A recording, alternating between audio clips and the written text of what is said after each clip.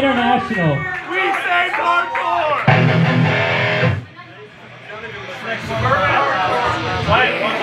Hey, song's called Nathan Adams.